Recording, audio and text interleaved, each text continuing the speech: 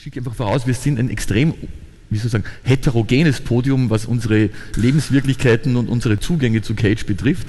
Das ist auch so geplant, denke ich, vom Veranstalter und wir werden es genau daraus versuchen, unsere Gesprächsthemen zu entwickeln.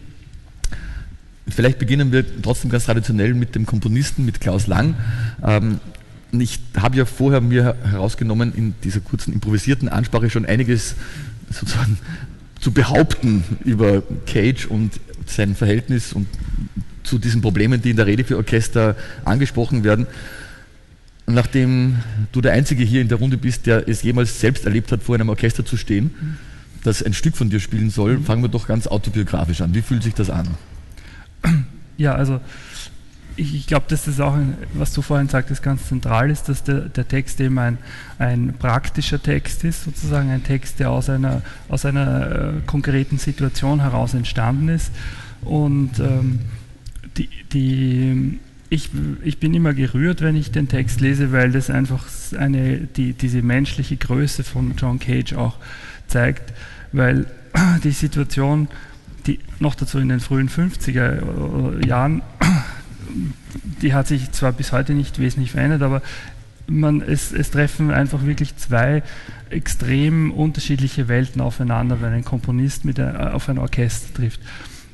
Der eine Punkt, nämlich die, sozusagen die Sichtweise des Orchesters von, von dieser totalen Hierarchisierung, in der man äh, drinnen sitzt, hat Christian Scheib, glaube ich, schon ganz deutlich geschildert.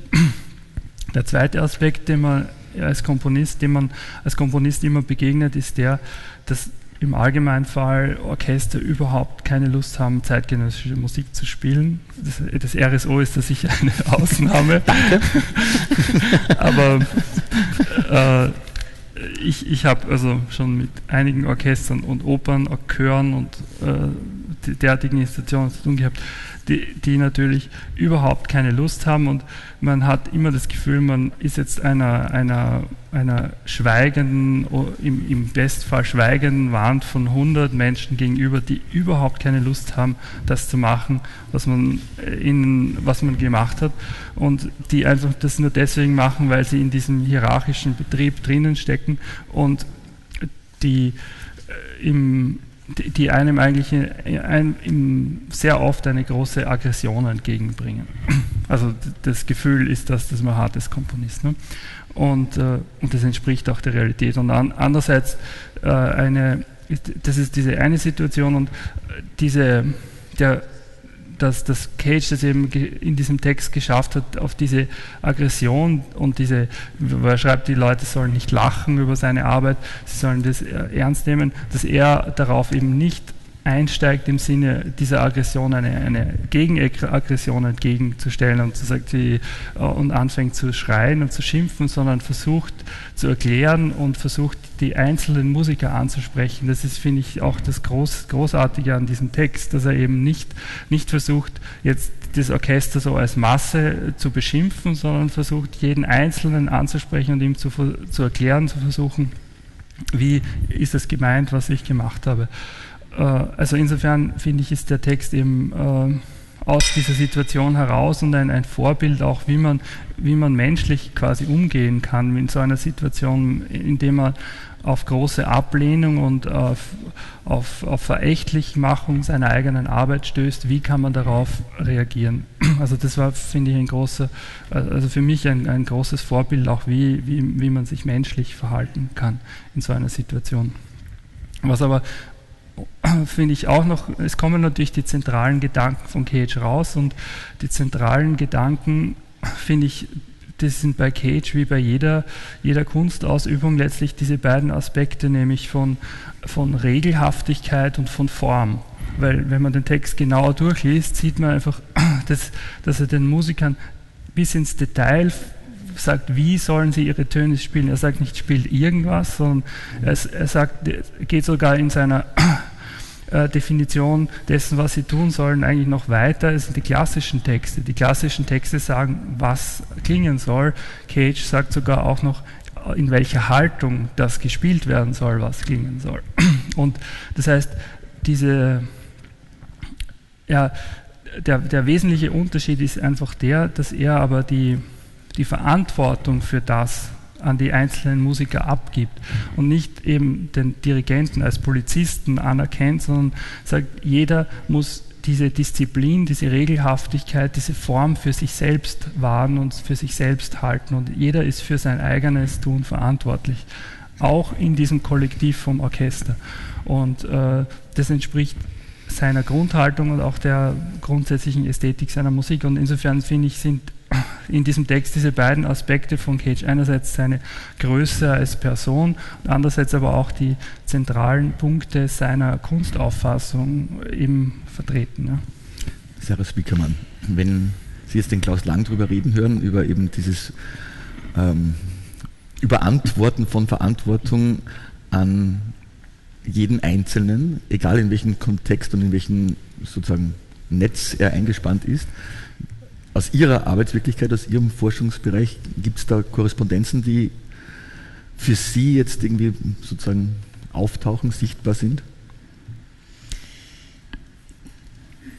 Ja, also das, vielleicht sollte ich dazu sagen, dass ich ähm, Professorin für Wirtschaftsinformatik bin. Also ich beschäftige mich eigentlich den ganzen Tag mit Technologie oder wie Technologie entsteht. Und ähm, ich möchte gerne diesen Aufhänger mal benutzen, dass hier eine ganz, also dass wir eigentlich so eine ganz traditionelle Herangehensweise haben an die Musik, das Orchester, jeder weiß, was er tut. Und genauso war das auch vor 30, 40 Jahren in der ähm, Entwicklung von Technologie. Ähm, da, wo, da wusste eine Firma, brauchte einen Computer, der war so groß wie ein ganzes Zimmer oder wie mehrere Zimmer. Und dann saßen ganze Mannschaften, denen wurde ganz genau gesagt, ähm, welche Programme sie zu schreiben hätten, was genau passieren soll. Und die Informationen, die dann den Mitarbeiter erreicht hat aus diesem System heraus oder die, die wir als Empfänger der medialen Wirklichkeit äh, hatten, die war genau vorprogrammiert.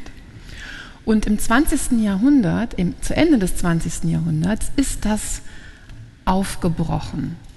Und das ist auch vielleicht aufgebrochen, weil es diese parallele Entwicklung eines technischen Aufbruchs gab und einer völlig neuen Art und Weise, wie Technologie gebaut wurde und wie sie auch von uns empfangen wird und was wir damit machen.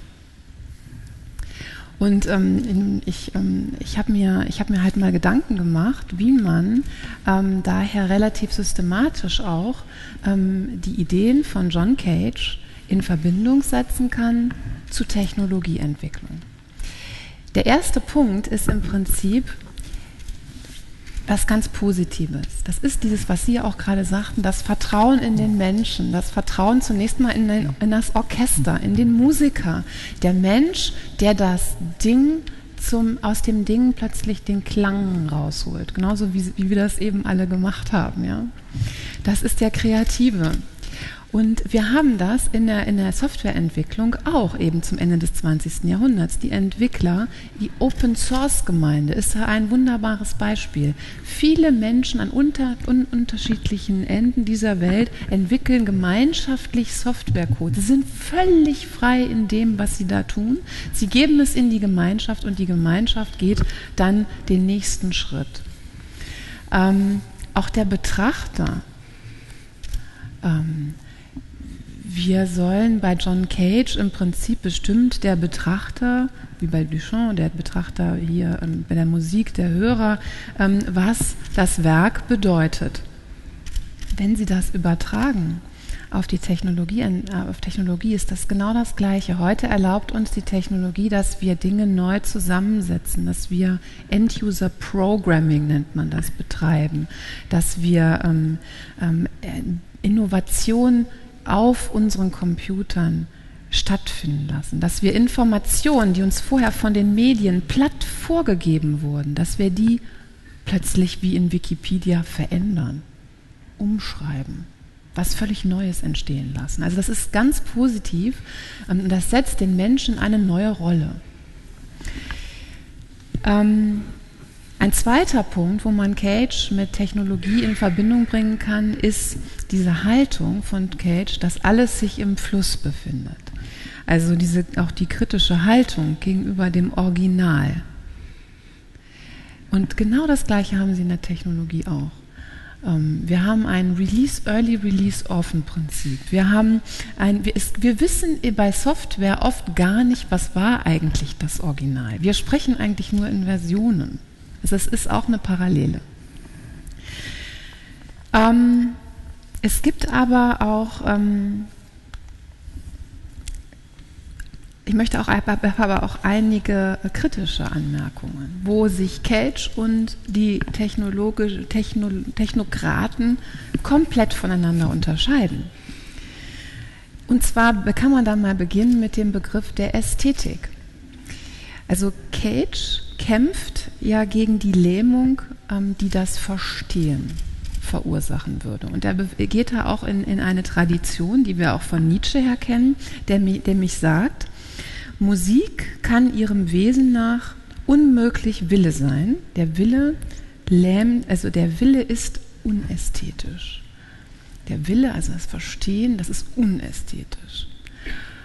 Und in der, wenn, Sie, wenn Sie aber beobachten, wie, Techn, wie Technokraten, wie Softwareentwickler Ästhetik empfinden, da haben Sie genau das Gegenteil. Für den, für den Programmierer ist das Ästhetischste, wenn ein chaotischer Code plötzlich in einem logisch-mathematisch perfekten Algorithmus zusammengeführt wird. Das heißt, der Inbegriff der Ästhetik beim Programmierer, das ist der vernünftigste und der logischste und der klarste und der intelligenteste. Und das ist genau das Gegenteil von diesem schöpferischen, dionysischen, ähm, ähm, bewegten, was wir bei Cage und, und dessen Auffassung finden. Und letztlich, und das ist mein letzter Punkt, übersetzt sich dieser Gegensatz auch in die Ziele und die Haltung, die, die wir in unterschiedlicher, völlig unterschiedlicher Form bei Cage finden oder bei, den, bei der Technologieentwicklung. Bei dem Cage ist es nämlich so, dass sein Ziel ist eigentlich die Absichtslosigkeit. Also er möchte mit der Welt in Kontakt, in Kontakt treten, aber ohne ihr Gewalt äh, anzutun. Und bei der Softwareentwicklung ist das ganz, ganz anders.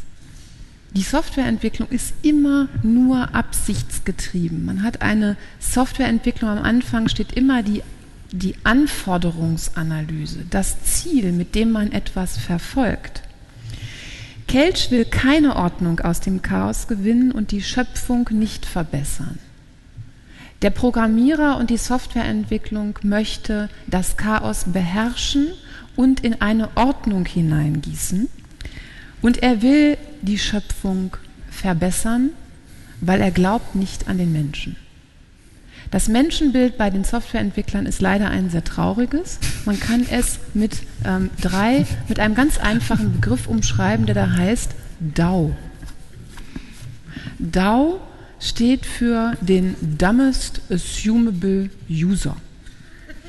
Und der dumbest assumable user, also zu Deutsch ähm, der dümmste nur vorstellbare Benutzer, ähm, für den sollen bitte Programme geschrieben sein, ja, damit auch nichts schief geht. Und, ähm, und da die Haltung besteht, dass nur der Intelligenteste in der Lage ist, Software zu schreiben und die Softwareentwickler sehen sich damit in einer Elite. Und man entwickelt für den dummen Menschen, der immer nur chaotisch alles falsch macht im Unternehmen und so weiter oder auch im Umgang mit Systemen. Ähm, was möchte man? Was ist das Endziel? Es ist die Schöpfung zu verbessern. Es ist der Punkt, auf den man hinarbeitet, der da heißt der Singularity.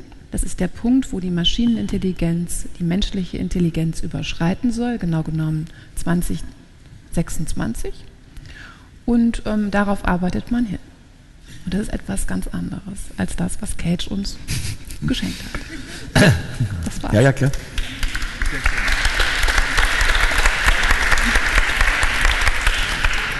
ich mir so ein Ding nehmen? Funktioniert das? Ja, ich glaube, es funktioniert. Hört man mich? Ja. Ähm, ich würde vielleicht dem gerne eine kleine Provokation anfügen, die Cage zumindest in der Zeit, wo ich mit ihm zusammen war, öfters geäußert hat. Und das war die Beobachtung, dass Technologie, wenn sie gut ist, immer kleiner wird und demnach irgendwann verschwinden würde.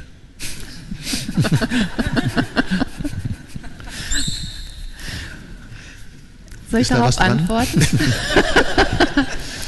naja, also er hat sicherlich zu Recht beobachtet, dass die Technologie immer kleiner wird. Ja? ähm, die Nanotechnologie oder überhaupt jetzt die Chip-Technologie, wo sie, die, sind- da sind die Prozessoren so, noch nicht mal so groß wie ein Sandkorn. Aber verschwinden tut sie dadurch überhaupt nicht. Sie wird ubiquitär. Sie ist allgegenwärtig. Und da dürfen Sie sich nichts vormachen. Vielleicht ist das, ähm, äh, zeigt es auch, aus welcher Geisteshaltung Cage oder aus welcher Tradition er kommt. Er fand ja den Begriff Tradition nicht so wahnsinnig glücklich für ihn, aber er stand ja doch in einer Tradition, die er aufbrach. Und diese, diese, sagen wir mal, analoge Vorstellung, dass äh, das, was man beobachtet, auch zu einem Ergebnis führt, nicht? Das ist vielleicht das, was in dieser, in dieser Spekulation drinsteckt, dass, das, dass wir das beobachten, dass es kleiner wird für uns und das, was wir wahrnehmen, auch dann zu dem führt, was es eigentlich ist. Nämlich es verschwindet, wir sehen es nicht mehr, also existiert es dann in einem nächsten Bereich. Für ihn, äh, die Provokation ist natürlich die, denke ich, dass äh, ähm, im Sinne eines, also des Anarchischen, dass man zurückkommt zu dem Zustand, dass jeder sich selbst regiert, nicht wahr? Und das entspricht ja nun genau eben nicht, wie Sie schön gezeigt haben, dass, äh, also diesen, diesen äh, Widerspruch zwischen Technologie und Ästhetik, so. Aber Ähm, achso, kannst du das noch kurz merken? Ich dachte, jetzt, jetzt gab es schon in Ihrem Statement ein paar Passagen, wo ich so mithörend dachte, wenn man jetzt nur ein paar, und ich schaue jetzt den Herrn Fockenhuber an, wenn man jetzt nur ein paar Worte austauscht, ist es eigentlich eine Rede über sozusagen, um es jetzt ganz banal zu sagen, über Politik. Also wo, wo ist Ziel, wo ist Organisation, wo ist, also wen halte ich wofür, wie gehe ich damit um?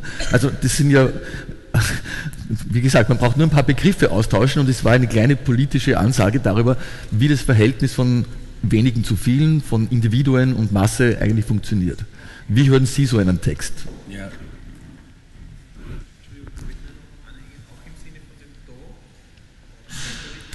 Dau. Äh, Das, war meine nicht ausgesprochene Frage. Ja, das funktioniert meins auch. ähm, ja, man braucht nur ein paar Begriffe austauschen, obwohl ich habe. Ich glaube, es funktioniert noch nicht. Schauen wir mal, ob das andere funktioniert. Einfach mal das probieren. Danke sehr. Da braucht man ein paar Begriffe austauschen. Aber ich habe den Text anders gelesen. Es muss sich ja jemand was gedacht haben, dabei mich eingeladen zu haben.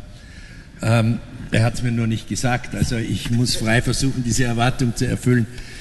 Ähm, satirisch betrachtet oder eigentlich sehr, sehr konkret habe ich in dem Stück äh, 4 Minuten 33 ähm, doch 15 Jahre verbracht.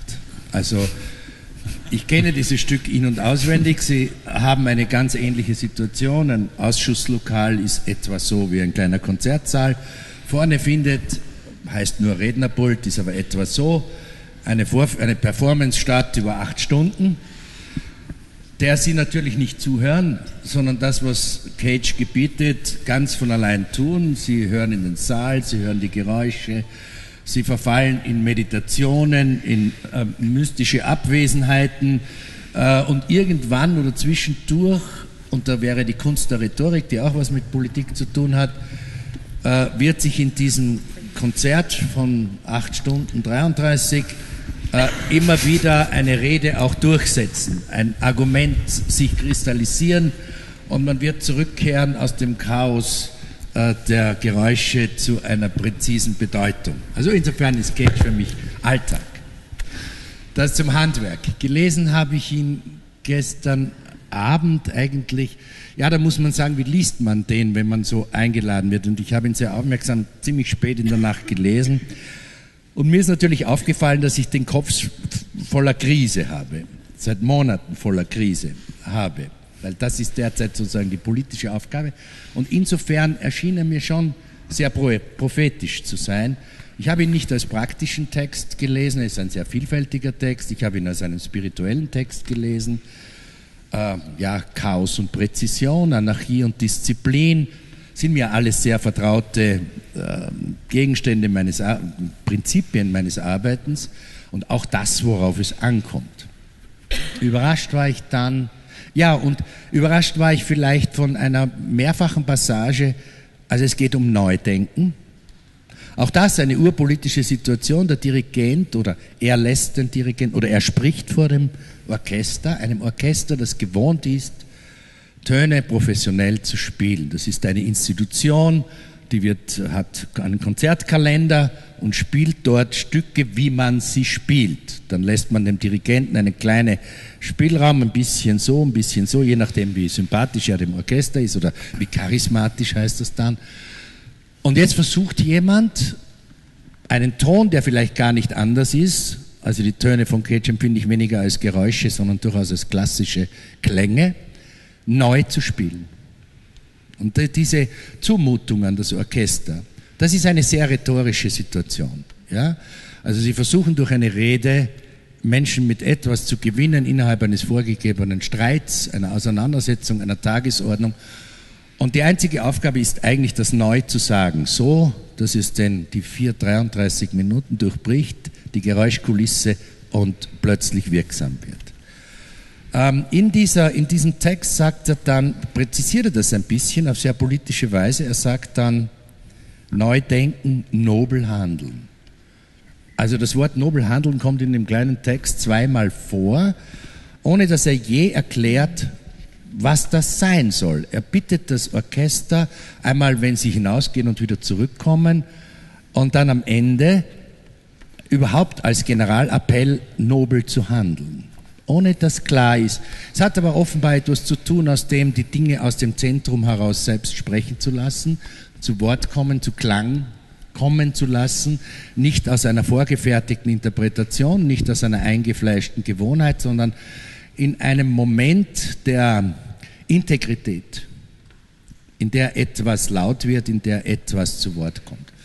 Und auch das ist die Aufgabe der Rhetorik, etwas viel Gesagtes, oft Gesagtes so zu sagen, dass glaubwürdig klar wird, die Integrität aufleuchtet, dass das gemeint wird, dass das zu Wort kommt, ob es ein Interesse ist, ob es eine Idee ist, ob es ein Argument ist, dass das tatsächlich zu Wort kommt. Das war sein Kampf, den ich in diesem Text empfunden habe, der hochpolitisch ist. Wie kann ich in einer Runde von Menschen, die Klänge wie Worte bis daher haben, äh, ein Wort, einen Klang so sagen, dass dieser Mensch, dieser Mann, diese Frau weiß, das trifft, will tatsächlich das repräsentieren, worauf es zeigt. Das war, das war mein Eindruck von der Sache. Insofern habe ich ihn sozusagen als revolutionär gesehen. Zugespitzt, weil ich sagte, ich hatte den Kopf voller Krise, ist es tatsächlich eine sehr genaue Handlungs, wenn man will, ethische Handlungsanleitung für eine Situation wie die Krise, in der natürlich tatsächlich in dieser Ausgesetztheit alles in Frage gestellt wird, was uns vertraut ist. Auch mit Bedrohungen, auch mit Ungewohntheiten, also so wie das Publikum sich schwer tut, so ein Stück mit zu fabrizieren, zu produzieren, äh, ist es natürlich unendlich schwer, in einer, in einer Krise, wo alle Dinge in Frage stellen, die Dinge neu aufzurufen.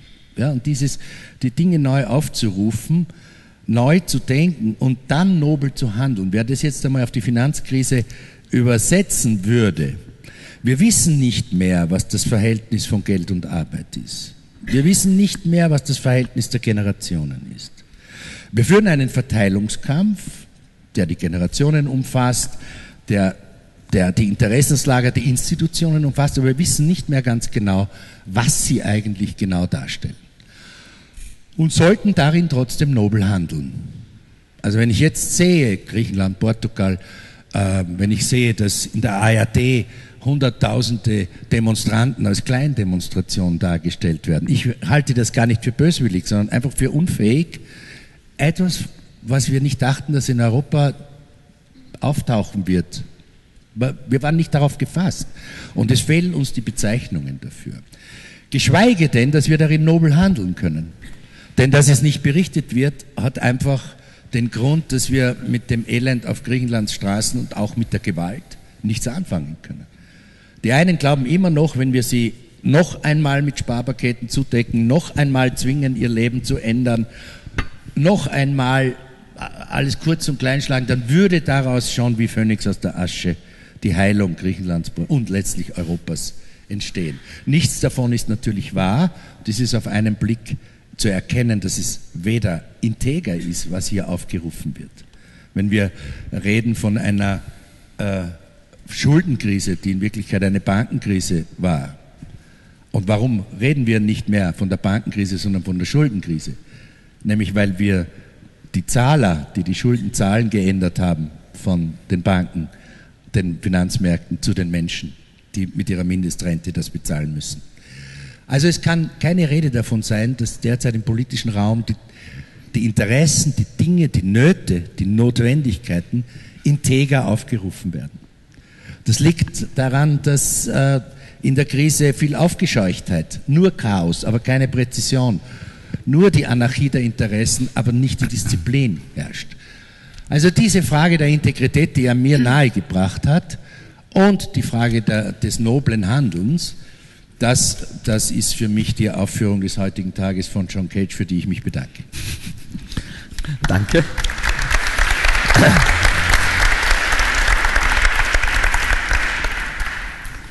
Ja, nobel. Ich fand ja auch, ganz persönlich gesagt, ich, ähm, ich kenne den Text schon sehr lang, aber es verändert natürlich auch das Wiederlesen des Textes unter neuen Voraussetzungen, auch wenn man den Text liest. Ähm, und kannte eben, also ich meine, ist mir sehr vertraut, ein Großteil dessen, was da eben drinsteht über die Disziplin und ähnliches. Ich war dann tatsächlich, weil halt durch Zeiten vergangen sind, ich war auch überrascht darüber, dass zumindest in der deutschen Übersetzung einfach das Wort Nobel zweimal vorkommt. Ähm, obwohl, wenn man Cage kennt oder wenn man sich erinnert an das, was er gemacht hat, ist er ja gar nicht erstaunt, weil natürlich ist es genau diese Haltung, die in, in einem so irgendwie altmodisch klingenden Wort fast am besten zum Ausdruck kommt. Ähm, ich wollte jetzt, bevor vielleicht ich ganz absichtlich die beiden Künstler hier auf dem Podium auch wieder zu Wort kommen, das trotzdem nochmals so quasi da jetzt zufällig dazwischen sitzen, also ein bisschen nochmal verknüpfen, weil ähm, so wie ich anfangs gesagt habe, und ich würde das vielleicht, ich würde es gerne nochmals betonen, ähm, es ist eben all, all diese, wie soll ich sagen, utopischen Vorstellungen von noblen Handeln, von eigenständigem Handeln, von Eigenverantwortung, tauchen in diesem Text ja, wie gesagt, nicht zufällig in einem Text an ein Orchester auf. Ja, es ist eben kein Text an ein Streichquartett und es ist kein Text an eine Performancegruppe, sondern es ist ein Text an ein Orchester und das, ich weiß nicht, wie, wie gut Sie alle mit dem, wie soll ich sagen, dem System Orchester vertraut sind. Ein Orchester funktioniert ja nur deswegen so perfekt, weil es all diese Strukturen hat, die es hat. Ja, also wäre dann nicht diese extrem diffizile Hierarchie auf sowohl künstlerischer als auch jeder anderen Ebene vom Konzertmeister bis zum ähm, Tutti-Bratschisten, ist da ja, das sind ja nicht 80 gleichberechtigte Musiker und, und das würde auch nicht funktionieren, wenn die alle mit dieser Haltung äh, Shostakovich spielen wollten. Ja. Dass der Cage dann natürlich genau an diesem Punkt äh, wie zur größten Fallhöhe gelangt, ist klar, weil ähm, sieben interessierte Musiker oder auch weniger interessierte Musiker, die kann man ja, mit denen geht man ja individuell um. Mit einem Klangkörper dieser Größenordnung kann man dann entweder kapitulieren oder wütend werden oder man ist ebenso nobel wie Cage und formuliert es auch wirklich genau, wo denn dieser Widerspruch ist zwischen, ich meine, der ist ja Komponist, der wusste ja, was ein Orchester ist, zwischen dem Verhältnis, dass er jetzt plötzlich ein Stück schreibt, das nur dann funktioniert, wenn sich der ganze Klangkörper völlig antizyklisch zu seiner Existenz verhält. Also weil das Stück funktioniert eben nicht, wenn man sich an das verhält, warum man eigentlich gut funktioniert. Ja? Und die, dieser Widerspruch war natürlich dann besonders deutlich, wenn er sich ähm, nicht mit David Tudor auf die Bühne setzt, sondern mit, einer, mit einem System sozusagen, das seiner Ideologie völlig widerspricht. Darf ich das Bitte, ganz gerne, das das Interessante ist ja das, dass ja sehr viele Orchestermusiker sagen, sie leiden gerade unter dieser Situation, dass sie ihr ganzes Leben lang am dritten Pult sitzen und immer genau das machen müssen, was jemand anders ihnen sagt. Und dann aber gibt es, also ich kenne die Situation ja auch, dass es manche Partituren von mir gibt, wo ich plötzlich den Musikern viel mehr Verantwortung gebe. Und bei Cage ist das der Extremfall, wo jeder für sich die Verantwortung hat. Und die Reaktion von den Musikern ist dann eben nicht die, toll, endlich können wir mal selbsttätig für uns entscheiden, sondern sie machen, machen sich lustig darüber, sie nehmen es nicht ernst. Sie, also sie sind so, das ist das Interessante, dass, dass die Freiheit, die, die dann plötzlich einbricht, viel, also genauso schwierig zu ertragen ist wie die Disziplin, der sie vorher unterworfen waren. So, Klammer geschlossen.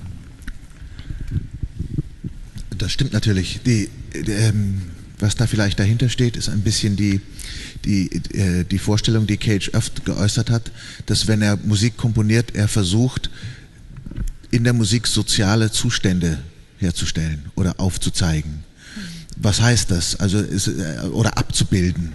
Also er ging, soweit ich das verstanden habe und aus der Erfahrung mit ihm erlebt habe, wirklich ganz direkt darum, in einem solchen Orchesterstück ein Abbild ein, einer, äh, der Gesellschaft zu zeigen, wie, sie, wie er sie vorfand und die aufzubrechen zu dem, wie er sich das idealerweise vorstellte.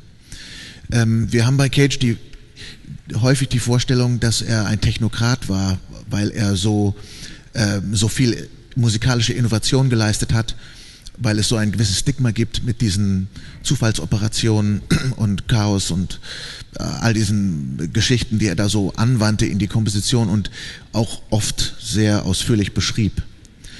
Aber das Bild wandelt sich und ich fand das jetzt sehr schön beschrieben von uns, wie äh, bis jetzt, wie, wie dieses Bild von Cage sich zu einem, zu etwas sehr Allgemeinem äh, äh, wandelt wir sagen, er ist in den Mainstream eingegangen.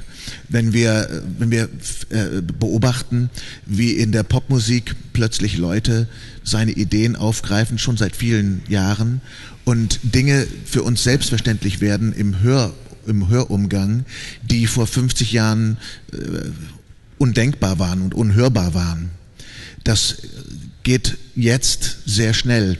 Ich möchte dazu ein kleines Beispiel anfügen, dann komme ich zum Thema zurück ähm, die, die, eine der letzten, die, die letzte Kompetition, die äh, Cage gemacht hat, dieses 111, dieser Film, an dem ich mitgearbeitet habe, wurde zusammen mit einem Orchesterstück aufgeführt, 103, 103, für 103 Musiker, die eben auch selbstständig spielen sollen.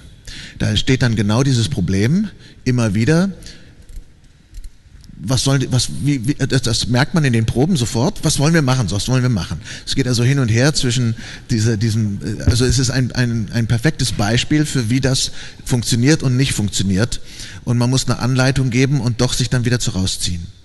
Das Ergebnis war, nach 20 Jahren, die Uraufführung war vor 20 Jahren und heuer nach, nach 20 Jahren eine neue, zum 100. Geburtstag eine neue Aufführung mit ähm, Orchester. Und die Pressestimmen waren überraschend für mich als vor 20 Jahren diese Musik aufgeführt wurde, war er der Neutontöner. Es war schwierig zu verstehen, was er klanglich sagen wollte. Also es, man musste sich noch dran gewöhnen.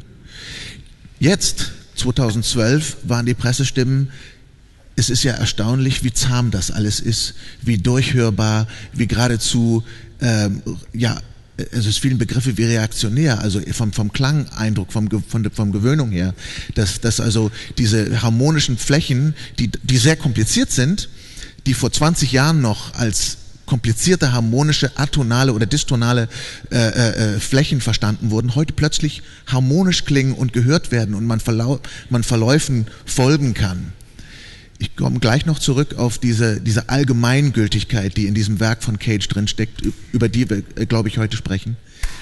Dass also der Cage vor vielen Jahren schon verstanden hat, so denke ich, was macht, äh, äh was bewegt die Welt? What makes the world tick? Und der hatte die Begabung, das in diese musikalischen Situationen so hineinzuholen. Ich saß in diesem Konzert und dachte mir, wie kommt das, dass ich ein Stück heute als vollkommen gefällig äh, begreife, als angenehm, als, als harmonisch positiv, als bewegend im Sinne von, ich kann da durchgleiten plötzlich durch dieses Stück. Ich werde an die Hand genommen und wir, wir reisen zusammen, nicht wahr? Und vor 20 Jahren völlig verloren war in diesem Ding und viele völlig verloren waren. Und ich musste dann an, daran denken, wie wir durch die Globalisierung, durch das, was hier angesprochen wurde, seit 20, 30 Jahren einer Masse an Bildern und Klängen ausgesetzt sind, die wir mittlerweile für selbstverständlich nehmen. Als Stockhausen seine Telemusik schrieb, war japanische Musik im Grunde genommen unbekannt in Europa äh, oder Gamelan-Musik, diese unterschiedlichen Musikformen, die er in diese in seine Komposition in den 50er und 60er Jahren einführte, ähnlich mit Cage. Heute ist uns das alles bekannt und wir stehen davor und der Kritiker schreibt, ja, das ist ja eigentlich alles schon bekannt. Was das für mich bedeutet, ist, dass der, der Cage, indem er diese Situationen schuf, auf ein allgemeines Bild einging und dafür ein, ein musikalisches Bild schuf äh, oder eine allgemeine soziale Situation. Und das hat funktioniert. Und deswegen ist er so wichtig für uns heute. Wir, man, muss, man kann sich ja fragen, wie kommt es, dass ein Komponist eine solche äh, Bedeutung hat? Und das geht dann schon in die Bereiche von den großen Komponisten, die die Welt verändert haben, wie Bach, Mozart, Beethoven und so weiter. Und an, an den Cage denkt man aber so noch nicht. Wir sind aber letztlich an, einem, an einer Neudefinition auch dessen, was Cage wirklich bedeutet hat. Ja, danke. Ich würde da gerne darauf antworten. Und zwar, ähm, wenn unser Leben fast schon dadaistische Züge annimmt und wir eigentlich als flexibler Mensch immer und überall uns permanent neu definieren müssen, ja, dann ist es vielleicht auch kein Wunder, dass wir diese Musik plötzlich ertragen können, weil sie ist im Prinzip, also ich sage jetzt mal, ich will das gar nicht negativ sagen, aber doch, viele Menschen kommen ja mit John Cage überhaupt nicht zurecht. Und, da, und, da, und, und, und das heißt, das, was Sie sagen, ich habe mich daran gewöhnt, ja, der flexible Mensch in unserer Gesellschaft, der hat sich daran gewöhnt und der kommt auch mit dieser Art von Musik zurecht weil er, weil er, weil, weil er auf alles reagieren kann, ja, theoretisch. Er, er, kann sich jeden Tag neu definieren, so wie sich diese Musik neu definiert. Äh. Aber 90 Prozent der Gesellschaft kommen damit gar nicht zurecht. Also da, das, das stimmt und stimmt auch wieder nicht. Also nach meiner Beobachtung ist das beides richtig. Ähm, das, was ich vorhin meinte, dass die zum Beispiel diese Sample-Kultur, dass wir, ähm, also dass, dass eine Popgruppe meinetwegen als Schlagzeug ein, ein, ein, das Anzünden eines Streichholz benutzt, den Klang davon, das ist ohne Cage und die Vorarbeit durch Cage nicht denkbar oder einstürzende Neubauten, die also dann alle möglichen äh, äh, ähm, Schlagzeuginstrumente selber entwerfen oder so und dann damit Musik machen, das, das, beruht, das, das fußt genau auf dieser Tradition. Also wir sind schon auch in gewisser Weise äh, bestimmte Dinge gewöhnt, Klang erzeugen, das, äh, äh, was, wo der Cage am Anfang dieser Entwicklung stand. Also ich will auch nicht die, ich will auch nicht die Größe dieses Künstlers in Frage stellen und den nein, Innovationsimpuls oder die damalige Avantgarde. Ähm, das nicht. Ich frage mich nur in einem nächsten Schritt, was er damit eigentlich künstlerisch einläutet repräsentativ für die Gesellschaft und wie aber die Gesellschaft damit zurechtkommt. Und Sie stellten das eben sehr positiv dar, so nach dem Motto, wir finden das alle jetzt ganz toll. Und, ähm, und, da, ähm, und da bin ich, ich, Sie und ich bestimmt, das Podium auch vielleicht hier die Anwesenden, aber vielleicht auch einige der Anwesenden nicht. Und vielleicht haben Sie schon gemerkt, dieses Zögern, als wir eben dieses Experiment machen sollten. Ja. da, ähm, hat, da waren da viele nicht Johannes, so. Darf ich, darf, ich darf ich noch einmal kurz darauf antworten? Ähm, die, der andere Aspekt ist auch der der Heranführung an das Werk. Ja. Also das, das eine ist, wie das Werk in den Mainstream übergeht, das andere ist aber, wie kriegt man den Mainstream zum Werk, also wieder zurück zu dem Komponisten. Äh, dabei fällt mir ein, ein anderes Beispiel ein. Die, äh, in Berlin hatten wir jetzt von Gerhard Richter große Retrospektive. Bei, äh, da gab es schon mal in Berlin im gleichen Hause 1985 eine Ausstellung von Richter, zu der niemand ging. Das war ein total, das war der größte Flop in seiner Karriere. Jetzt strömen die Busladungen dahin. Was sind das für Busse, die dahin gefahren sind? Das waren Leute, die in der Zeitung irgendwo was gelesen haben und es wurde diese Reise dahin organisiert. Warum? Weil er heute der teuerste Maler der Welt ist. Diese Busladungen werden da angeführt, nicht weil es um die Kunst geht, überhaupt nicht, ich, sondern weil er ein Phänomen ist. So, und jetzt kommen die Leute in diese Ausstellung hinein. Ich habe mit vielen gesprochen dort und die sagen, ich verstehe das, ich bin vollkommen überrascht. Mir gefällt das ja. Und die Leute artikulieren ihre Assoziationen.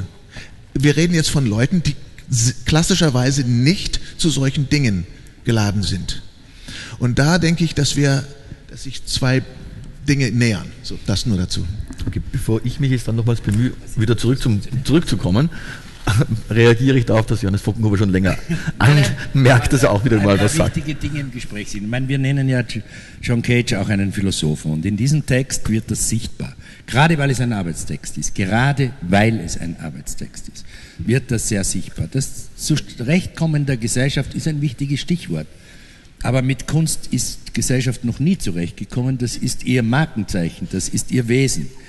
Ähm, die morgige vielleicht. Aber wenn sie dann morgen mit Busladungen damit zurechtkommt, ist die Musik schon tot, mit der sie zurechtkommt. Und das war ja auch die Situation, vor der John Cage vor diesem Orchester steht. Äh, und da möchte ich diese Krise noch einmal, weil er für mich hier ein, tatsächlich ein, ein Denker, ein Künstler, ein Philosoph der Krise ist. Nehmen wir, ich glaube, es war der Klarinettist, der pragmatisierte 30-Jährige. Was hält den am Leben?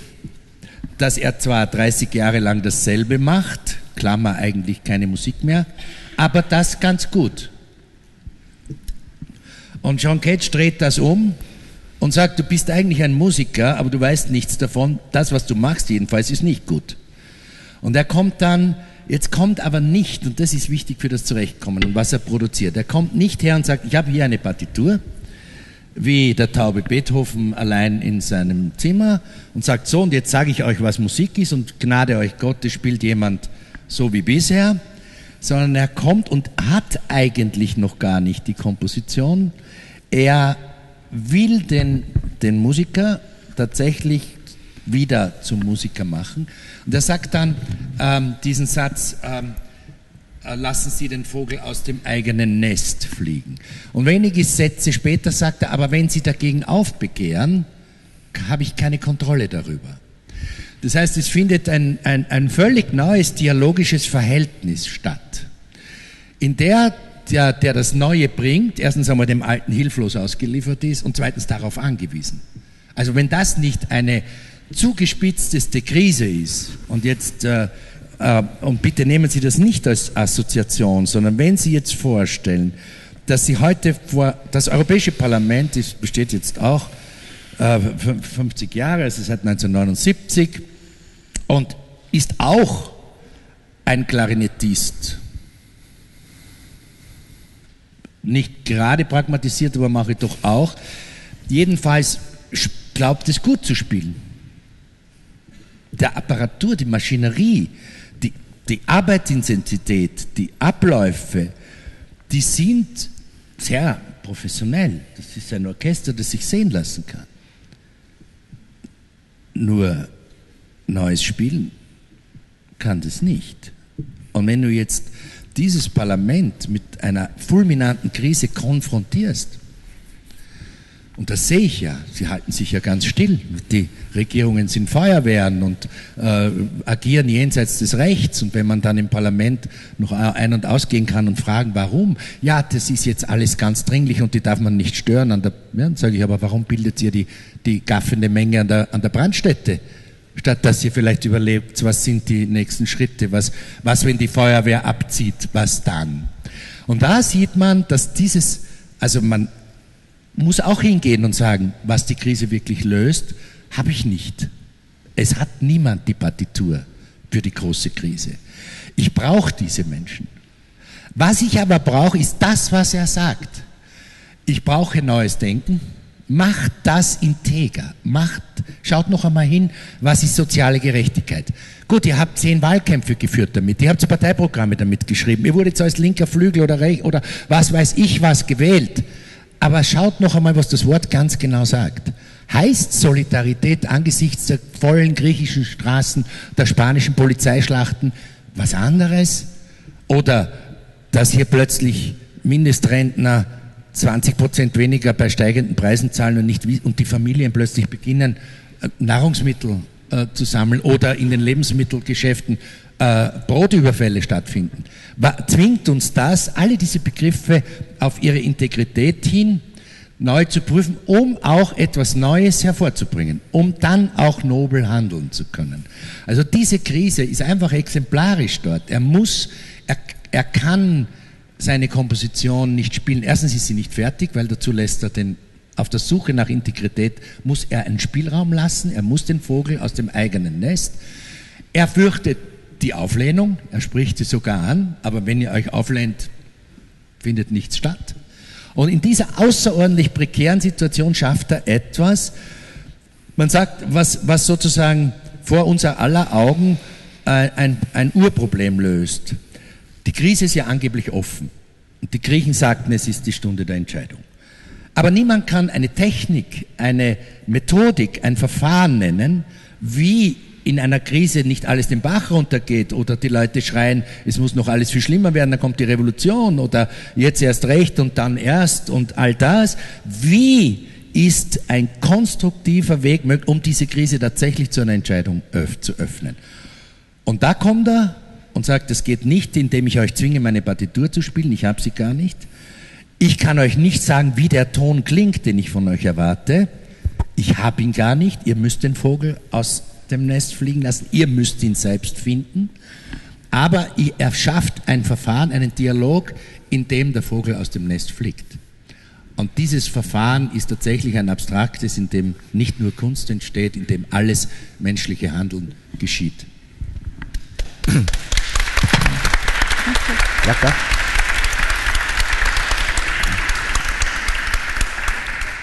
Ich hätte aber mal eine Frage an Sie. Wer oder was ist dann John Cage im politischen Raum? Weil Sie dürfen ja nicht vergessen, der war da und der hat denen gesagt, fliegt frei. Wer oder was könnte denn diese... kurz er hatte eine Partitur. Ja. ja, aber also, nein, nein, natürlich hat er eine ja, Partitur. Das ist ganz wichtig. Er nein, natürlich hat er eine Partitur. Er benutzt das aber damit die, der Vorgang, ob Karajan den Figaro spielen will und ja. sein Orchester äh, so die Augen schließt und sagt, das war es noch nicht, ich höre einen inneren Ton, das war es noch immer nicht.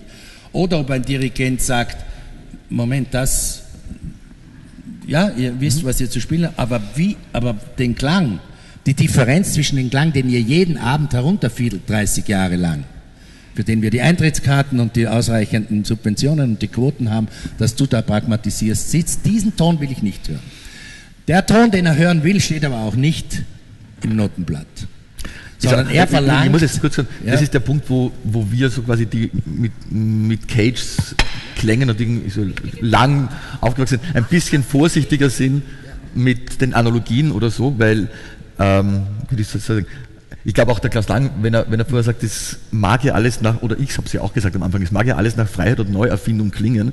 Äh, man darf aber nicht vergessen, dass es alles ein Unglaub, also selbst die Klänge, die in diesem Text angesprochen sind, die stehen ja in den Noten. Nur stehen halt, wie er selber sagt, so wenig drin, dass die dazwischen anfangen albern zu werden. Ja? Aber es ist ja nicht so, im Gegensatz zu vielen anderen Ansätzen im 20. Jahrhundert, wo Künstler komplett anders dachten und wirklich, ich weiß nicht, von Improvisationskonzepten bis Fluxuskonzepten, gibt ja viele andere Ansätze. Der Cage ist, da muss ich jetzt ein bisschen so quasi aufpassen, wo wir hingaloppieren, der hat ja mit ganz wenigen Ausnahmen und vor allen Dingen in den Orchesterstücken tatsächlich genau gewusst, wer was spielt. Also der ist ja zu jedem einzelnen Orchestermusiker vorher hingegangen, hat mit dem das Instrument in der Hand genommen und gesagt, und jetzt probieren wir alles aus, was geht. Auch, und da haben Sie jetzt völlig recht, auch wenn da jetzt Töne dabei sind, die Karian nie hätte hören wollen. Ja? Aber er hat sie zuerst ganz genau ausgetüftelt. Wie geht das auf der Geige, diesen Klang, den man noch nicht gehört hat, zu spielen? Und den hat er dann in die Noten geschrieben. Wenn es dann eine Aufführung kommt, wo das vielleicht ein anderer Geiger ist, der das nicht selber mit ihm einstudiert hat, dann konnte es natürlich vor allen Dingen in den 50er Jahren passieren, dass der gesagt hat, und das, ich meine, das passiert bis heute, ein Orchestermusiker kriegt das hingelegt und das erste ist, sagt, das geht nicht. So, manchmal hat es auch gestimmt. Es gab, gibt Komponisten, die ich erlebt habe, die haben tatsächlich Töne geschrieben, die waren schlicht und einfach außerhalb der Range des Instruments. Kommt vor. Im Normalfall ist es nicht so. Im Normalfall weiß der Komponist ganz genau, dass es geht, wenn man sich genug bemüht. Und ich sage das jetzt alles deswegen, weil eben ähm, in der Analogie zu anderen äh, Vorgängen wenn wir schon jetzt den Cage nehmen als Ausgangspunkt und nicht einfach, ich weiß nicht, das 20. Jahrhundert, dann würde ich schon sagen, man muss bei diesem, an diesem Punkt sehr, sehr vorsichtig sein. Selbst die Stücke, die bis heute vielleicht am provokantesten klingen würden, und das sind vermutlich die großen Orchesterstücke aus den 50er Jahren, so wie das Klavierkonzert oder ähnliche Werke, die würden auch mit Sicherheit dem nicht entsprechen, das Sie gerade gesagt haben, nämlich jetzt plötzlich easy durchhörbar, fast wie, wie äh, Lounge-Musik klingen. Das passiert bei den späten Stücken mit ihren vielen Liegetönen, passiert mit Sicherheit nicht bei den Stücken aus den 50er Jahren, auch wenn wir es jetzt spielen. Ja? Weil, da, also, ich, weil ich es auch sozusagen einfach mal sagen will, wir sollten nicht in die Falle tappen, dass wir jetzt quasi dieses, dieses Emblem John Cage nehmen und völlig darauf vergessen, dass der über 50 Jahre unfassbar viele komplett verschiedene Ansätze entwickelt hat und nicht nur den einen, von dem in der einen Rede die Rede ist. Ja klar, das ist nicht so wie Minimal Music, wo jedes Stück sich wie das andere anhört, nicht? So, so, äh, provokativ gesagt. Eine große Spannbreite an Erlebnissen. Dürfte ja, bitte, klar. noch was sagen, jetzt auch was auf die, Ihren dritten Punkt, nämlich was die, was die konstruktive Seite der Musik betrifft. Man muss ja sagen, dass die Arbeiten von John Cage kompositorisch wahnsinnig komplex sind, sehr äh, maschinell sozusagen, hat er auch Computer benutzt, um seine, seine Verfahren zu steuern.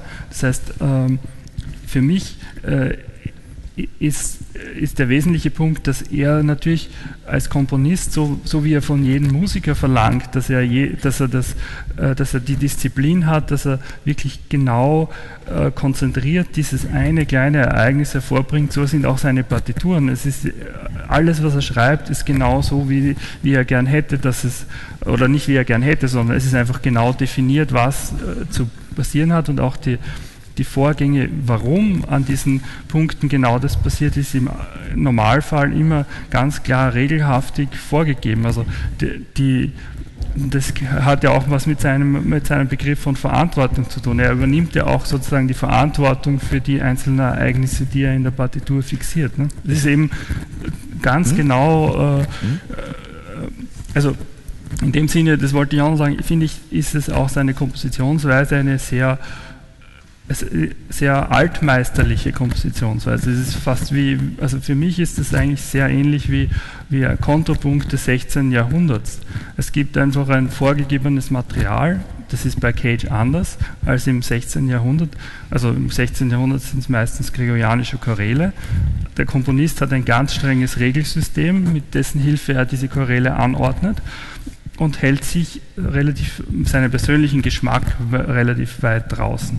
Aber und genauso geht Cage eigentlich auch vor. Er hat, er hat ein sehr offenes Material und hat sehr strenge Regel, Regelsysteme, denen er das Material unterwirft, um genau das zu ermöglichen, dieses Material anders zu sehen, neu zu sehen, neue Aspekte in dem Vorhandenen zu sehen. Also es ist äh, eben nicht, es geht jetzt nicht um äh, Fantasie oder um Entfaltung von Persönlichkeit im, im, in diesem Sinne, sondern es geht eigentlich um, um das Erforschen von neuen, in Bekannten und um das zu ermöglichen, entwickelt er einfach kompositorische Strategien. Und, und die äh, äh, geben dann natürlich dem einzelnen Musiker einen kleinen Bereich von Freiheit, aber der Bereich von Freiheit, den sie, dem sie dem Musiker geben, ist ja genau so gewählt, dass dann wieder die Klänge hervorgebracht werden, die die Cage interessieren oder die er gern hören möchte. Ne? Ja. Also ich werde mich natürlich hüten, mich mit Musiktheoretikern anzulegen. aber als Text kann Klar. ich ihn analysieren. Als Text ist er mir zugänglich und da ähm, denke ich halt, wenn ich das höre, daran, dass der Mensch sich ja nichts, äh, mit nichts schwerer tut, als einen Widerspruch auszuhalten. Wir haben ganz frisch, fröhlich und so mit Charisma von Chaos und Disziplin gesprochen. Kaum wird das Chaos ein wenig Darf es ein wenig aufleuchten? Schreien alle nach der Disziplin. Nein, er hat ohnehin die Route gehabt. Nein, er wusste ganz genau was. Nein, es stand auf dem Papier. Nein, so war das nicht. Also ich ja, denke, ich denke, äh, wir haben es da mit der Schwierigkeit zu tun, einen Widerspruch auszuhalten, obwohl wir ihn gerade gepriesen haben. Also ich sage Text, nicht Musik. Ich räume das Feld, wenn Sie mir erklären, was er jetzt hier im Stück genau getan hat oder in seiner Musik, aber er hat, es gibt ja auch eine Differenz zwischen seiner Musik und diesem Text. Er hat nämlich eine Rede gehalten. Und ich weiß nicht, ob er in der Musik alles das getan hat, was er hier gesprochen hat, aber was er gesprochen hat, weiß ich. Und da gibt es einen spannenden Satz. Tun Sie, was Sie können, um dem Stück zu ersparen, dass es der Aktivität einer Herde von Schafen gleicht. Lassen Sie es die Aktivität von 86 Menschen sein, die aufgrund einer Wahrscheinlichkeit zusammenkamen. Seine Komposition ist nur eine Wahrscheinlichkeit.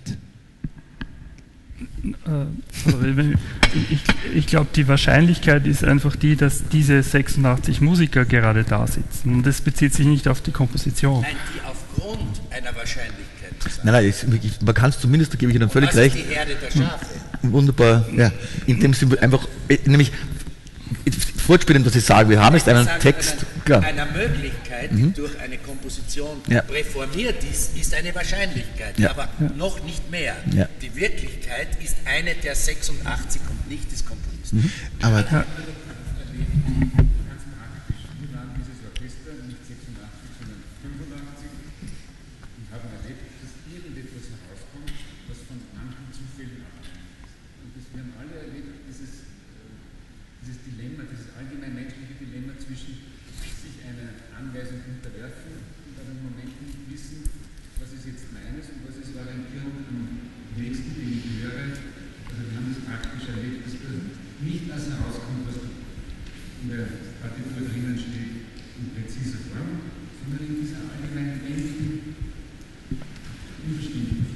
Und war das gut oder nicht? War das gut oder nicht?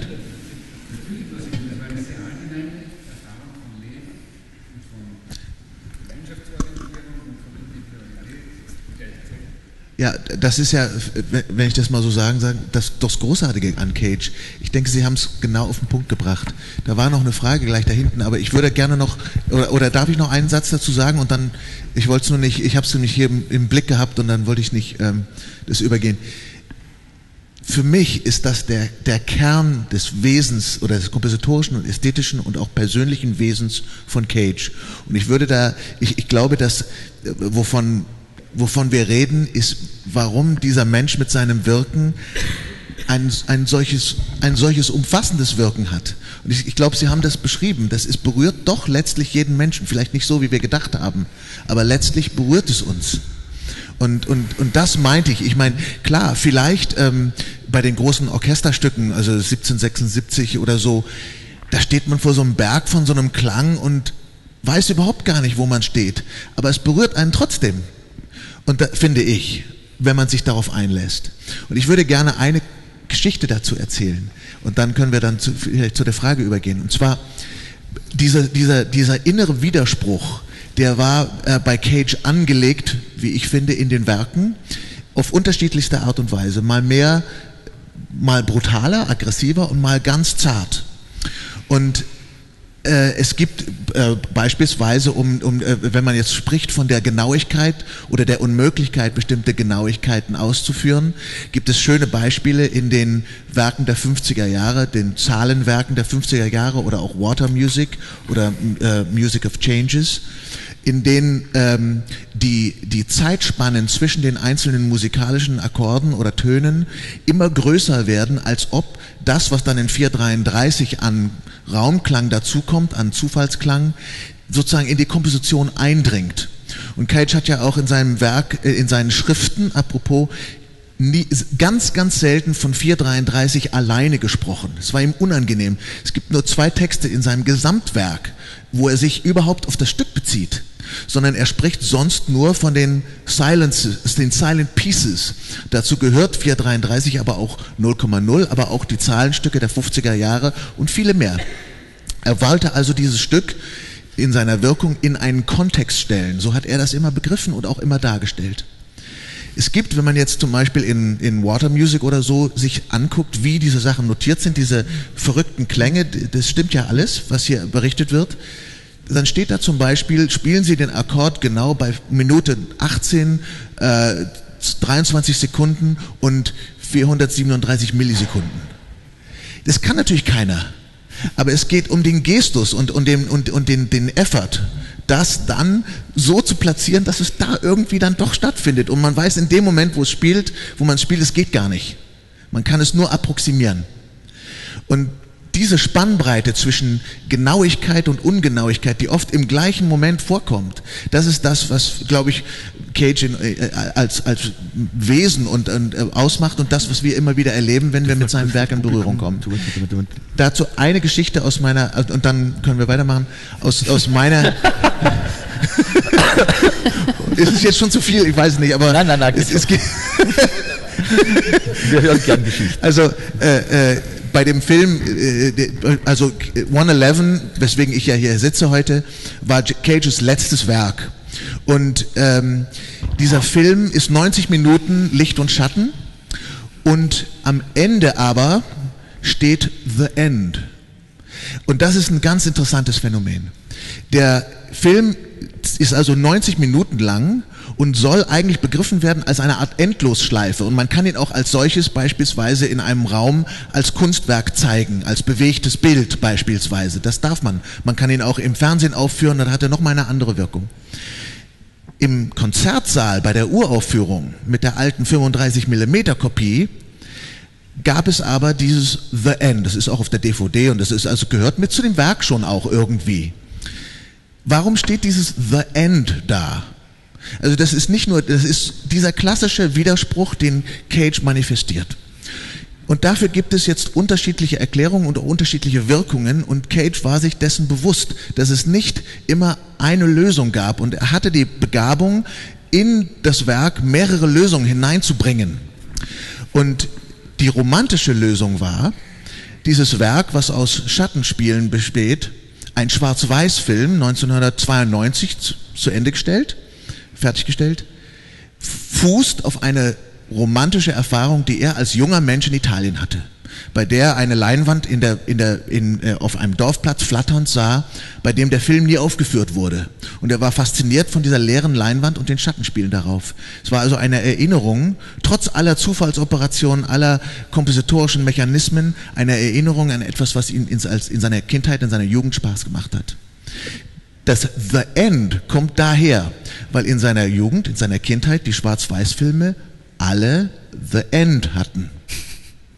Und er wusste natürlich auch, dass er mit 80 irgendwann bald am The End steht. Und ich weiß noch, als wir auf die, also ich ihm vorschlug, dieses Projekt zu machen, das, äh, wurde er irgendwann in einem Interview gefragt, warum er das angenommen hat, weil es ein ziemlich hoher Aufwand ist, einen Film herzustellen. Und da sagt er, ja, wenn er schon noch diese Möglichkeit kriegt in seinem Alter, muss er drauf springen. Und die Pointe kommt jetzt bei der Uraufführung, er war gerade drei Wochen verstorben. Wolfgang Becker-Carstens, also eine Koryphäe, Redakteur beim WDR der, der zeitgenössischen Musik der Nachkriegszeit, äh, äh, der, der Hunderte, wenn nicht Tausende von Kompositionen in Auftrag gegeben hat, sah das und konnte es nicht glauben, dass da steht The End. Ja? Und er war sich sicher, dass ich, er war damals 26, dass das mein Werk war. Ich war also der Frevler, der also diesem wunderbaren äh, äh, The End, äh, diesem wunderbaren Schattenfilm so ein End aufgedrückt hat, ein, ein Finales. Ne? Und jetzt kommen wir also zu dieser Uraufführung mit dieser riesigen, wunderbaren alten 35 mm Projektionsmaschine. Und Wolfgang sagte, ihr müsst diesen Film anhalten damit dieses The End nicht zu sehen ist. So, jetzt läuft eine Uhr ab, 90 Minuten. Jetzt hatte aber natürlich niemand bedacht, dass diese alten mechanischen Maschinen, die halten nicht einfach an. Die, die ist wie eine Bremse. Die läuft dann noch ein bisschen weiter, sodass, sodass The End also dann schließlich eine Viertelstunde da stand, bis die das Licht, bis, bis sie das Licht ausgeschaltet hatten. Wenn, wenn sie das weiter einfach hätten laufen lassen, dann wäre das nach fünf Sekunden vorbei gewesen. Und, und, das sind die Spiele, die mir dazu einfallen. So, das wollte ich nur sagen. Und dann hatten Sie Danke. ja noch eine Frage.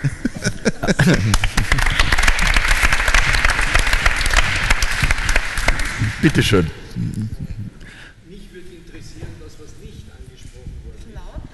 Warte, wir kennen ein Mikrofon. Michael Kerbler ist Mikrofone gewöhnt. Danke. Äh, mich würde interessieren, ein Punkt, der noch nicht angesprochen mhm. worden ist, nämlich der Zen-Buddhismus. Äh, der Zen-Buddhismus. Also das Spirituelle, äh, das ja auch im Text vorkommt. Und das, äh, ich finde es wunderbar, dass Sie das jetzt gerade angesprochen haben, weil das Zyklische bei Cage, also die Schleife, das Asiatische, wenn Sie so wollen, äh, erinnert mich daran, dass im Zen-Buddhismus ja auch, es heißt, man soll aufhören zu suchen, weil nur dann findet man. Und auch so kann man Cage hören. Äh, und vielleicht ist das auch ein Tipp in Richtung der Musiker gewesen. Mhm. Äh, also mich würde jetzt interessieren, was Zen-Buddhismus äh, bei Cage für eine Rolle oder für ihn auch in der Komposition für eine Rolle gespielt hat. Danke. Also ich kann da was zu sagen, aber Fangen Sie mal an. wir wollen auf keinen Fall darauf verzichten, dass Sie was dazu sagen. aber, aber vielleicht, Sarah Spiekermann hat auch.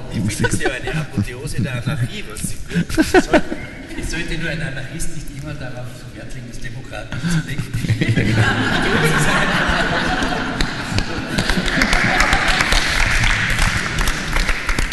Also ich, ich habe mir darüber, also genau bei diesem Punkt nämlich auch Gedanken gemacht und ich möchte ihn aus der Sicht der Wissenschaftlerin beantworten. Sie haben ein ganz, ganz strenges Reglementarium, nach dem Sie arbeiten. Da muss methodisch jede, jeder Handgriff perfekt sitzen und da dürfen auch keine Fehler gemacht werden.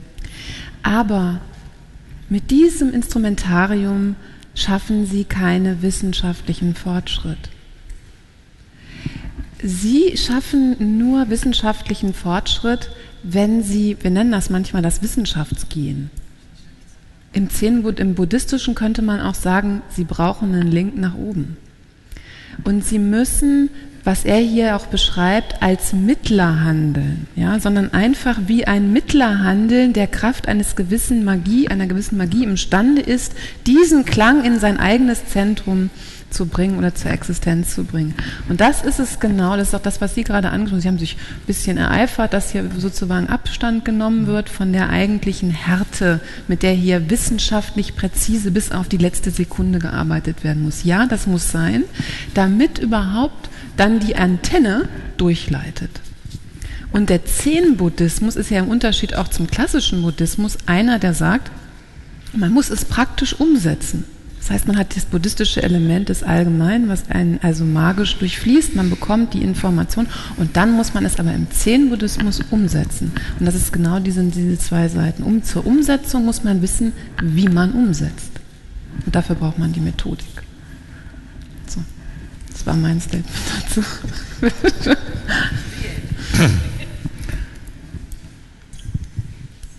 Ich kann ja schnell eine Geschichte vorlesen. Es ist eine der Geschichten aus dieser 90 Minuten oder 90 Geschichten Textsammlung Indeterminacy oder Unbestimmtheit auf Deutsch. Ähm, also da hat Kate wirklich einfach 90 so kürzest Geschichten geschrieben, die sich alle immer in einer Minute lesen ausgehen sollten. Manche haben so wenig Texte, dass man dann sehr langsam lesen müsste. Manche haben so viel Text, dass man es unmöglich schaffen kann. Genau in diese, ja, man kann approximativ möglichst wenig länger als eine Minute brauchen. Man kann es nicht in einer Minute lesen. Das hier ist einer mit etwas weniger Text. Und in diesem Text, da, da, mischen sich komplett in diesen Texten so sehr persönliche Erfahrungen. Es gibt übrigens auch eine Geschichte zum Orchesterthema, die kann ich Ihnen auch noch kurz vorlesen. Und es tauchen immer wieder mal so ganz kleine ähm, Auseinandersetzungen mit eben Zen-Buddhismus und auch anderen spirituellen ähm, Geschichten vor. Manche davon sind auch irgendwie sehr charmant und haben fast einen Point. Da gibt es zum Beispiel eine Geschichte, die heißt, zwei Mönche kamen zu einem Fluss. Einer war Hindu, der andere Zen. Der Inder begann den Fluss zu überqueren, indem er auf der Wasseroberfläche wandelte. Der Japaner wurde ganz aufgeregt und er rief ihm nach, zurückzukommen. Was ist los? sagte der Inder. Der Zen-Mönch, Zen-Mönch sagte, das ist nicht der richtige Weg, den Fluss zu überqueren. Folge mir. Und er führte den Inder an einen Ort, an dem das Wasser so seicht war, dass sie durchwarteten.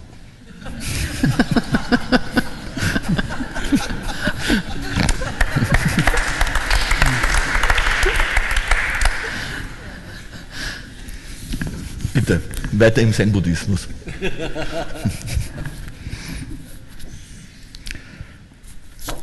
Also, ähm, gut, ich sag was dazu. Die, äh, es gibt schöne Beispiele bei Cage in dem grafischen Werk. Er hat ja, er fing ja als, äh, ähm, als Maler an, hat er auch immer wieder erklärt, dass er aufgrund seiner Studienzeit bei Schönberg vom Malen im Grunde genommen abgekommen ist und sich auf die Komposition konzentriert hat. Und in, in den letzten 15 Jahren seines Lebens kam er aber da wieder zurück und kam zu sehr interessanten Ergebnissen, wie wir finden, und benutzte äh, ähm, den Ryoanji-Garten aus Kyoto als eine Art Matrix oder ein Blueprint, äh, einen Architekturplan für diese Serie an Grafiken und Zeichnungen, die er da entwarf. Warum? Weil es ein Zen-Garten ist und er diese, die Bedeutung dessen, was man dort tut, die absichtslose Absicht oder umgekehrt die absichtsvolle Absichtslosigkeit, in dieses grafische Werk hineinbrachte, indem er beispielsweise die Steine aus diesem Garten nahm und die einfach nur umkreiste mit dem Bleistift. Also selbst sich herausnahm, soweit er konnte, aus diesem Prozess des Herstellens von etwas. Und diese absichtsvolle Sinnlosigkeit, die führte dann wiederum zu dem, äh, äh was ich glaube, äh, also wenn, Sie fragen, wie, kommt der Zen in, das Werk von Cage, dann ist das schon mal eine Beschreibung davon, was da passiert bei, bei Cage. Und in diesem Zusammenhang habe ich ihn mal gefragt, als wir zusammen diesen Film herstellten, wie kann das eigentlich sein, dass du ständig sagst, ich, ich, ich, ich stelle anarchische oder also Anarchie her, anarchische Situationen und Anarchie. Ich meine, da muss ja jeder vernünftige Mensch denken, das kann ja, ist ein Widerspruch in sich selbst. Selbst wenn man die ganzen schönen großen Definitionen von Anarchie kennt, es bleibt ein Widerspruch in sich selbst, weil er doch die Situation geschaffen hat in irgendeiner Form oder zumindest das Spielfeld. Die Antwort war auch genauso wieder wie The End.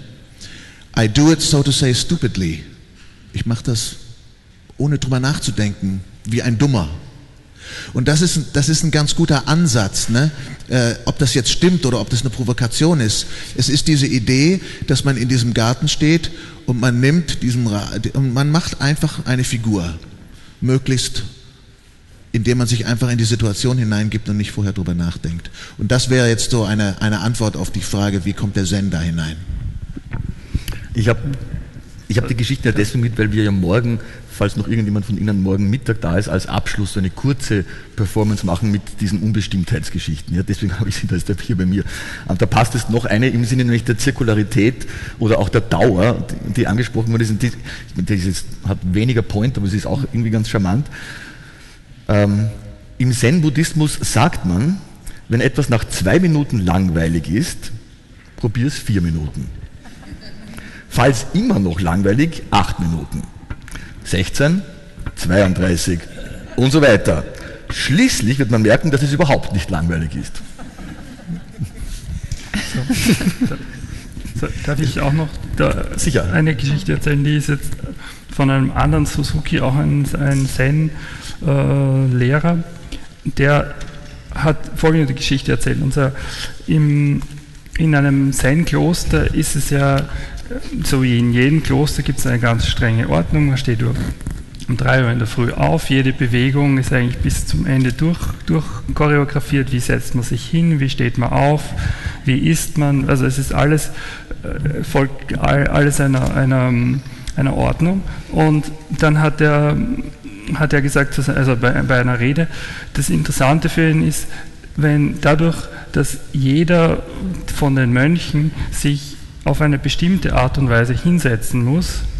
Dadurch entsteht, dadurch, gerade dadurch, dass jeder diese Form äh, beibehalten muss, kann ich die Individualität jedes Einzelnen erkennen. Wenn jeder einfach hier sitzen würde, äh, völlig äh, äh, wahllos, dann wäre es total schwierig, die Unterschiede zwischen euch zu erkennen. Aber dadurch, dass ihr euch an, die, an diese Form halten müsst, dadurch erst wird die wird die Individualität erkennbar. Und ich, ich glaube, dass das auch sehr viel mit der Kompositionsweise von Cage zu tun hat, dass er einfach die Klänge, dass er dass, dass, dass die Klänge erforschen wollte, dass er hören wollte, was zu hören ist.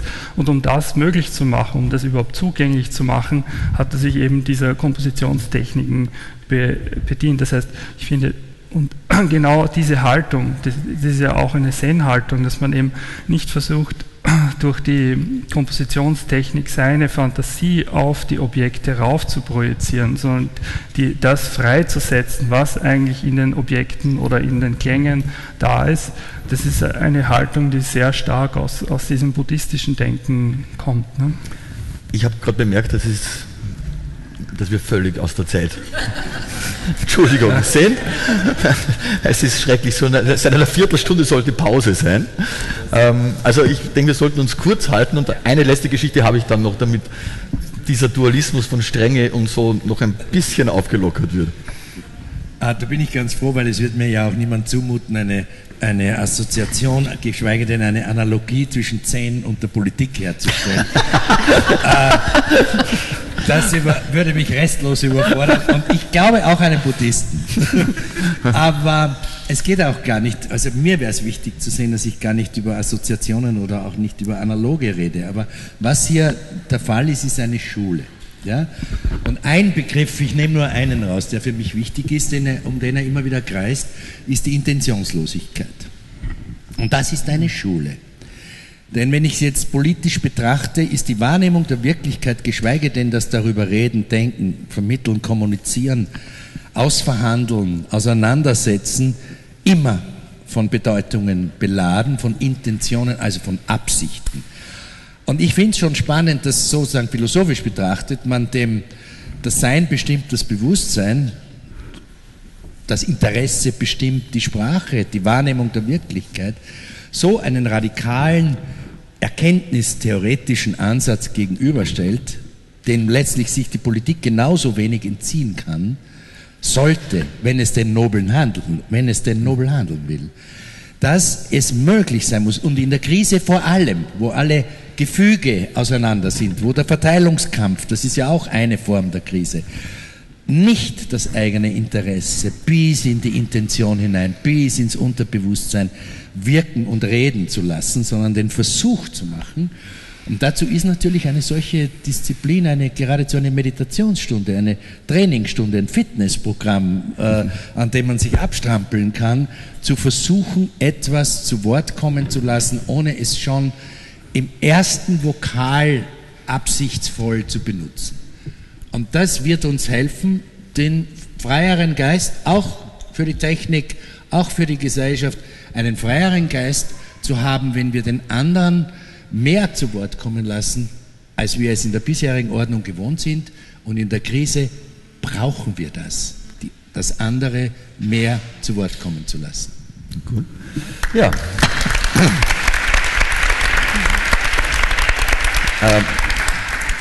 Ich bedanke mich im Namen der Veranstalter fürs, alle, fürs Teilnehmen.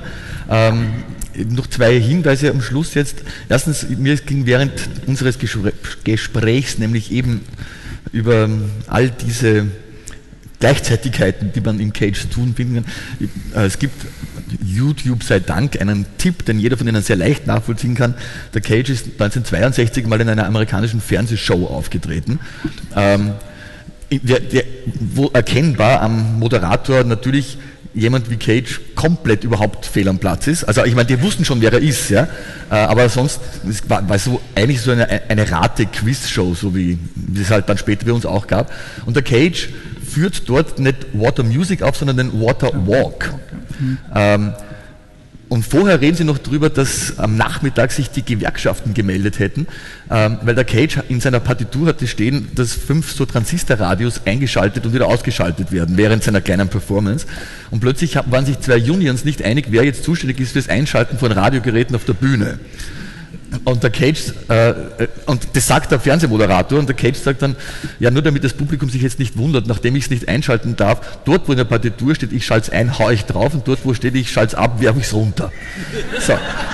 Äh, und dann macht er wirklich im Fernsehen diese Performance, und es ist erstens wirklich lustig und zweitens, ein, da braucht man dann jetzt ganz viele theoretische Diskussionen über Disziplin und Haltung und Ernsthaftigkeit und gleichzeitige Anarchie nicht, wenn man diese drei Minuten sich anschaut oder fünf, weil mit welcher Grandezza und Ernsthaftigkeit er diese, diese Abfolge und absurden Klangerzeugungsvorschriften, die er sich selber gibt, einhält, mit der Stoppuhr in der Hand. Ja? Also es geht ja eben nicht darum, irgendwann einen Krach zu machen, sondern nach 1 Minute 54 Sekunden. Ja? So.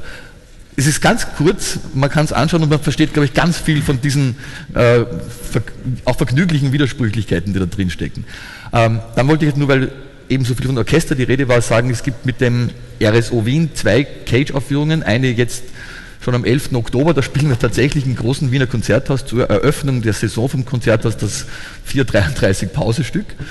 Äh,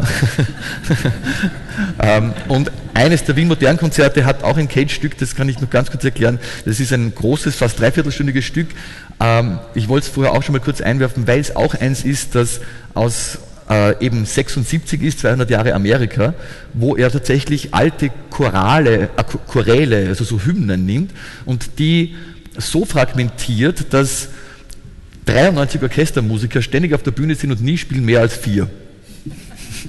ja, auch eine unfassbar disziplinierte Aktion, obwohl es natürlich rein theoretisch Zufallsoperationen sind, die auswählen, wer wann was spielt, klingt natürlich wirklich wie ein, wie soll ich sagen, wie, äh, wie ein abstraktes Gemälde, wo noch der Choral noch durchschimmert, weil man erkennt es schon, weil es immer nur so kleine Fragmente sind. So, und zuletzt die Geschichte. Im chinesischen Gedichtwettbewerb, durch den der sechste Patriarch des Zen-Buddhismus ausgewählt wurde, gab es zwei Gedichte. Eines lautete, der Geist ist wie ein Spiegel, er verstaubt. Das Problem besteht darin, den Staub zu entfernen. Das andere, nämlich siegreiche Gedicht, war genau genommen eine Antwort auf das erste.